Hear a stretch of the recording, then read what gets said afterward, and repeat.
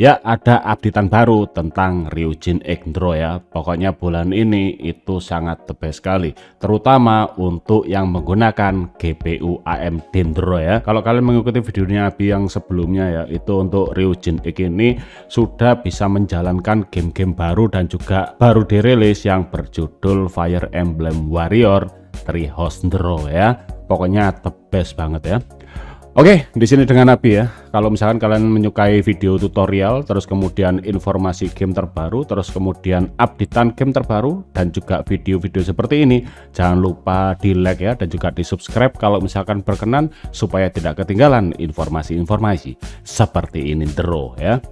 Oke, langsung ke updatean yang pertama draw. Oke, yuk. Yang pertama kita bahas dulu adalah updatean GPU-nya ya kira-kira seperti apa. Dan di sini tuh tak jelaskan dalam bahasa gampangnya ya biar sama-sama mengerti. Untuk game apa ini? Game Elder Scrolls 5 Skyrim ini kesusahan ya masuk ke dalam game ini hanya di booting saja kalau untuk masuk ke gamenya itu masih kesusahan terus ya masuk ke in gamenya dan sekarang sudah bisa dijebol sampai ke gamenya dan dibantu sama tim Skyline yaitu by Laundro terima kasih buat Hello karena sudah membantu perkembangan update game yang sangat susah diputing di Origin X ini ya sekarang sudah bisa dimainkan. Kalau ngelihat dari keterangannya di sini ya untuk performanya dan juga FPS nya itu masih belum dijelaskan itu seperti apa ya.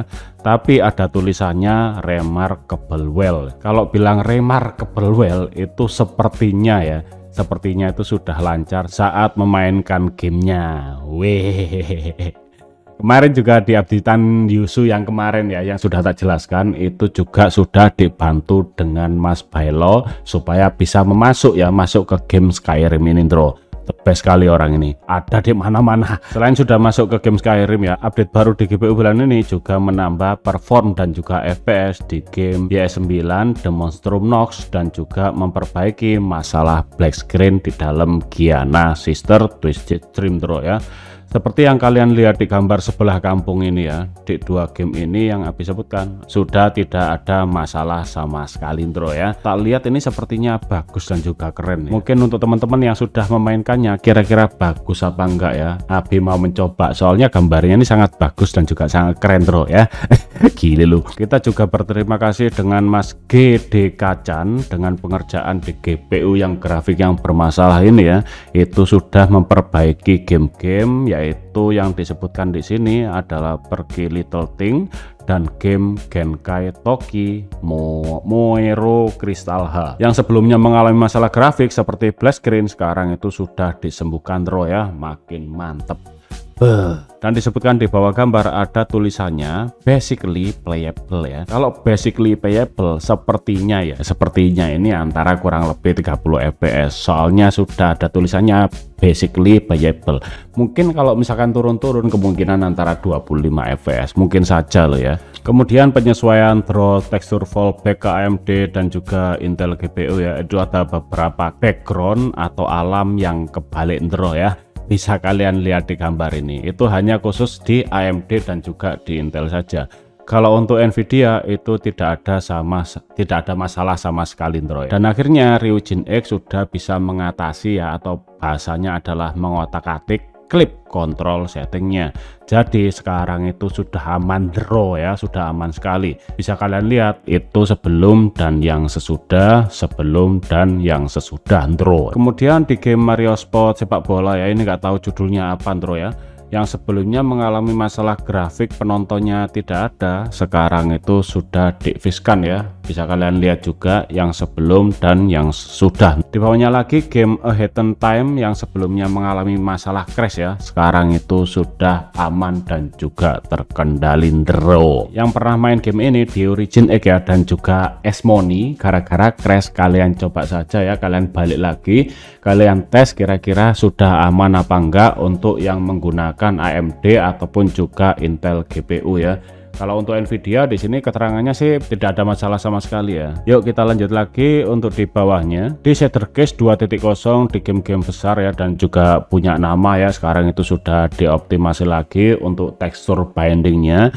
dan juga shadernya bisa kalian lihat di gambar Super Mario Odyssey terus kemudian Xenoblade Chronicles Definitive Edition Terus yang di bawahnya lagi The Legend of Zelda Breath of the Wild untuk FPS priornya ya, terus kemudian FPS after dan juga presentasinya. Kalian lihat dulu ya. Kalau misalkan di updatean bulan yang kemarin kalian mencoba game-game salah satunya adalah game ini ataupun juga game yang lain, kalau merasa FPS-nya ngedrop ataupun juga agak lemot, kalian coba saja sekarang ini sembuh apa enggak ataupun juga FPS-nya itu sudah naik apa enggak ya. Kalau tak lihat dari keterangan di sini sih sudah sembuh ya untuk FPS drop dari bulan yang lalu. Pokoknya kalian coba saja, siapa tahu aman-aman saja. Kalau berkenan bisa kalian isi kolom komentar di bawah ya. Kalau setelah mencobanya, kalian balik lagi kira-kira untuk updatean yang untuk updateannya sekarang itu seperti apa ya, supaya bisa membantu teman-teman yang lain bro ya yang mengalaminya. Kalau untuk CPU bulan ini belum mengalami peningkatan sama sekali ya, sama dengan versi yang bulan lalu. Jadi Abi nggak bahas dalam-dalam ya. Kemudian lanjut di update yang selanjutnya yaitu di service. Di game Diablo 2 yang sebelumnya tidak bisa booting atau juga crash sekarang itu sudah bisa booting ya. Dan juga bisa main gamenya dengan mengincrease treat jadi dua andro ya. Dengan syarat multi treatnya ya itu harus diaktifkan atau di on kan Abi bilang treat saja ya jangan bilang itu. Nanti dolar kuning draw berbahaya draw hanya saja kalau misalkan menaikkan kedua ya dan juga menggunakan multi threadnya yang diaktifkan itu juga berefek ke game Pokemon dan juga Sildro. Laporan terbarunya nanti kalau misalkan ada updatean ya updatean yang selanjutnya selanjutnya lagi itu sudah bisa diviskan dan juga langsung dipakai. Tidak memakai trik ini dan juga trik itu. Jadi kita tunggu saja pokoknya untuk updatean selanjutnya ya. Semoga cepat menyembuhkan masalah-masalah ini bro oke fitur lainnya yaitu ada penambahan bahasa Cina ya dan juga ada penargetan ke Windows. Yang paling bawah sendiri untuk update vulkannya ya di bulan ini itu lebih berfokus ke pengguna AMD Android. Dijelaskan di sini karena untuk perform GPU AMD masih di bawah Nvidia Andro ampun. Sekarang masalah isu yang dialami GPU AMD itu sudah disembuhkan dan aman di bulan ini ya. Untuk sekarang ini sampai sekarang untuk update-nya Dicontohkan di game Pokemon Sword dan Shield yang mengalami masalah graphical issue depan rumah itu ada batu berserakan ya. Sekarang itu sudah aman bisa kalian lihat di gambar sebelah kampung ini ya antara sebelum dan yang sesudah batunya ya. Batunya kalian lihat yang di depan rumah itu sebelum dan juga yang sesudah. Selanjutnya Vulkan AMD GPU update yang sekarang itu juga memperbaiki bayangan karakter ya. Ini karakternya bisa kalian lihat ya.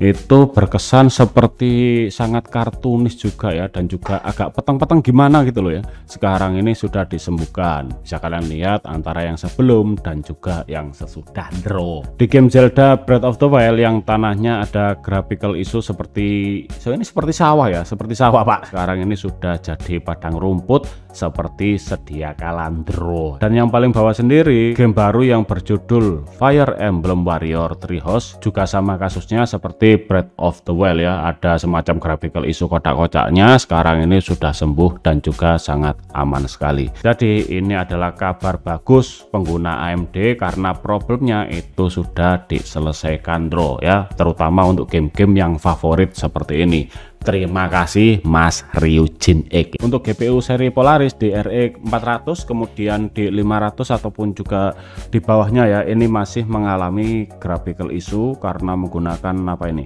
VK Image Creation Cube bisa kalian lihat sendiri ya kalau mau mengatasinya kalian harus memaksa tidak menggunakan fitur ini draw meski bisa sembuh hanya saja mengurangi masalah perform dan saat memainkannya itu ada sedikit FPS drop lah ya. Tapi tapi waktu main itu nggak begitu perasa. Mungkin waktu bermain ya itu turunnya hanya mungkin satu atau dua FPS ini kayaknya.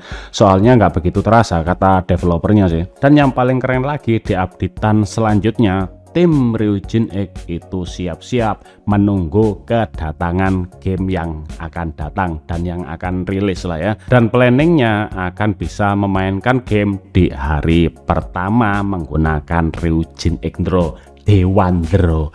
Oh, antara lain game Xenoblade yang baru. Xenoblade yang baru itu adalah Xenoblade Chronicles 3. Wah, hari pertama Andro di sini Andro. Semoga saja ya.